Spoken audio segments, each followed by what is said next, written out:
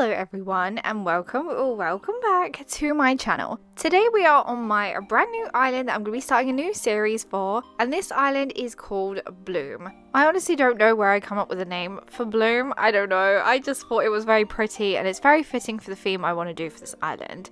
So this island's theme was actually decided by you guys. You all voted in my poll and voted for the island that I will be building next. And we're going to be doing a colourful Japanese inspired island. So I'm super excited. I've never done a Japanese inspired island before. So it's a first for me. Now before we get started with today's video though, I'd love it if you could like, comment and subscribe. Come join the Jellybean family. Now let's get talking about what I want to do with this island and let's build the entrance.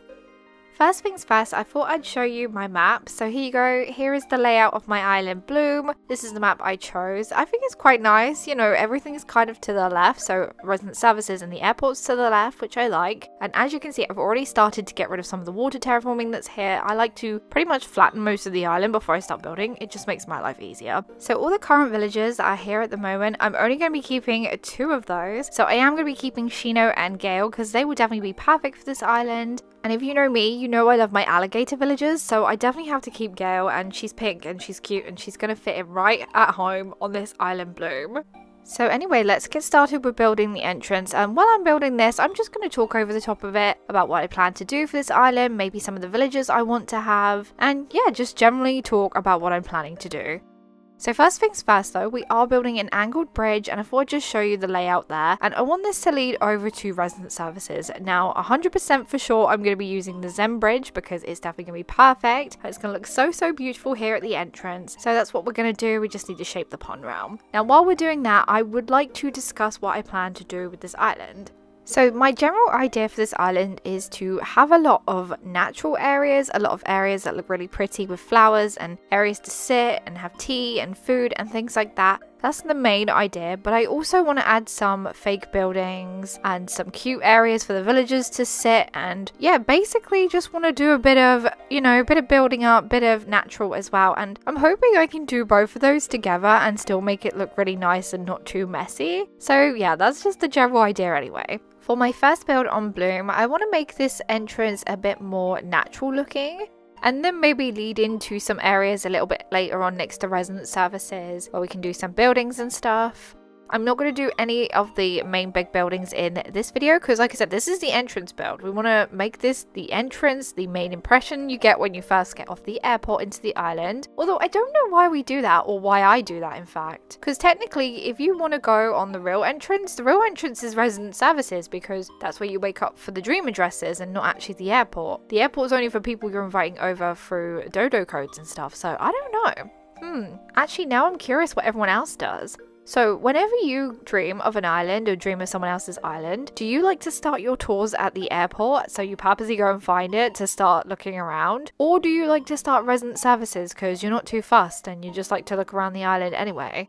I want to know what everyone else does now because I always run to the airport first and start my tour there and look around from there. So I feel like the entrance is the airport and not resident services. But I'm curious what everyone else does. Let me know in the comments. I really want to know. Now before we go and talk about any more of this island, I just want to mention that all the codes I'm using in today's video will be down in the description below once I get time to write them out. Hopefully I've written them out. If I haven't, please do just give me a few days because sometimes it does take a while to write all these out and make sure I've got all the codes right and find everyone's socials that I'm able to find. But yeah, if this has been a week, if this video's been out for a week, then the code should be down there. So yeah, enjoy those, using those on your island because we just need to talk about one thing though. This path code that has the cherry blossoms in it. It's absolutely stunning. It is made by Colin Crossing. It is beautiful. I love it. I'm obsessed. I love every colours of it. I love the little stones around the edge, the little blossom petal piles, everything. Everything is perfect. I love it. Also, I realised I didn't actually mention that this island will be set in cherry blossom season just because I haven't done a cherry blossom season island this year. I did one last year and I definitely wanted to do one this year. So I thought, you know what, what better way than to do it for this spring colourful Japanese inspired island. So let's go back to talking about what I also plan to do with this island. So I'm definitely going to have a lot of waterscaping. I feel like that's definitely a must to have that. I don't think I do a lot of waterscaping normally, so this should be interesting, should be fun. We're also probably going to do a lot of terraforming around to give the natural flow and a natural feel to this island in certain areas, so that'll be exciting too. And I think for the first time in a very, very long time, I'm not going to be having a road on this island. Now, I will be having a pathway. You can see me putting it down right now. This is basically the limit of what the pathway will be. Or maybe a few little extra stone pieces and stuff like that, but I'm not actually having a physical road. So this is going to be very interesting too. Because if you know me, I think pretty much all my islands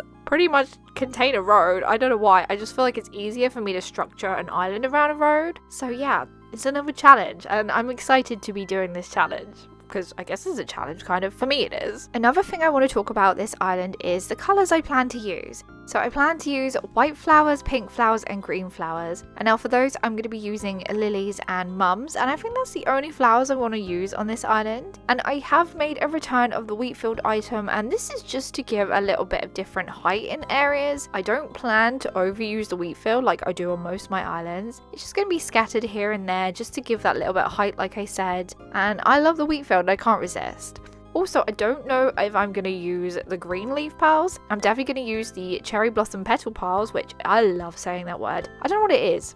I don't know what it is at all, but that word just rolls off the tongue so perfect. Cherry blossom petal piles. Like, why is it so perfect? It is the perfect word. It is the perfect combination of words, and you can't change my mind. Another thing to discuss about this island, I guess, is the villages that I plan to have. Now, obviously, if any of you guys have any suggestions for villages, I'm always open, but I think I've decided my final lineup already. I know, crazy, not like me. Sometimes I don't even fully decide a lineup of villages I would like until like the end of building an island sometimes. So yeah, I'm quite proud of myself already deciding, kind of, I guess, unless it changes, but hopefully it doesn't. So for my villages, I'm definitely going to keep Gayle and Shino, like I said. I'm also thinking of having Gladys, Pinky, and Piko, and also Cousteau, Cousteau, the frog, you know, the little yellow frog that reminds me of cheese. We're gonna have him, Marcel, Drago, Kabuki, and Wart Jr. Now, I just decided on these villagers because I thought they look so, so cute. I feel like they'll fit in with the colour scheme perfectly, and I thought they were adorable. There you go, they're cute and adorable. That's the main reason, and I want them to live on this island. Also, I do need some inspiration actually for my Japanese inspired island. This is a theme I've never really done before and never even tried to tackle before. I think I did a build once when I did the try me build. I had a go at doing it and it came out kind of okay. It looks nothing like this did, so yeah, it's completely different. So if anyone has any dream addresses for Japanese inspired islands that I could visit, I would really, really appreciate that. You could post them in the Discord if you like. So we do have a Discord, which you'll find the link in the description down below. I'd love to do some tours again. I don't know, shall I bring island tours back to the channel? How do you feel about that? Should we should we do some island tours? Maybe, maybe we'll do it. I don't know. We'll, we'll consider it later on. Over here, I've kind of made the illusion of a small little fake building, which I absolutely love how this has come out. I did change the colour of the storefronts because they were white at first and I changed them to this other colour which kind of has like a pinky shade to it. I don't know, it just feels like it fits better.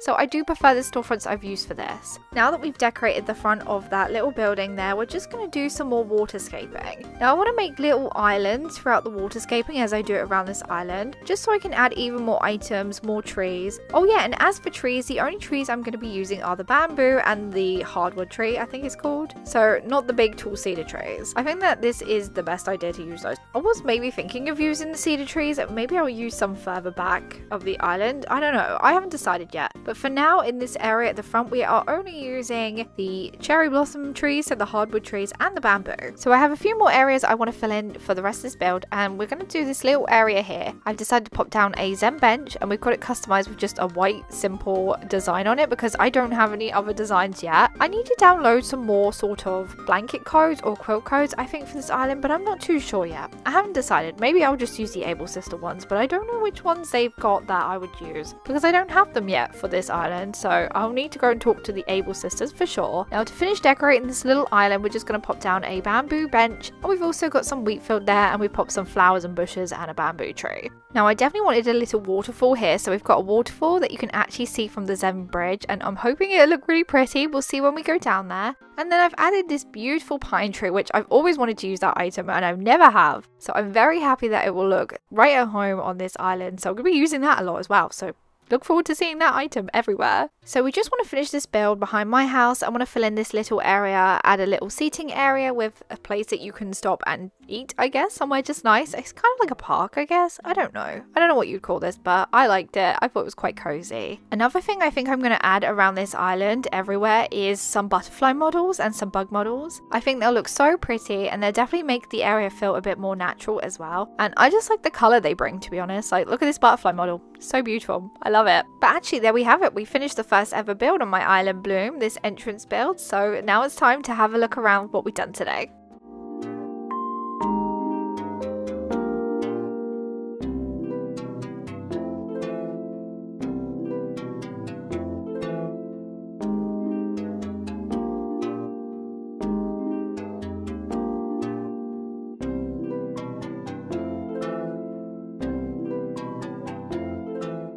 And there we have it, we finished the first ever build on my spring Japanese inspired colourful island and it was so much fun. I'm actually really happy with how this area come out and I'm very excited to build more and more on this island because I'm really enjoying it so far. Now if you enjoyed today's video don't forget to like, comment and subscribe. Come join the Jelly Bean family. I hope you have the loveliest of days and I'll see you in my next video. Goodbye!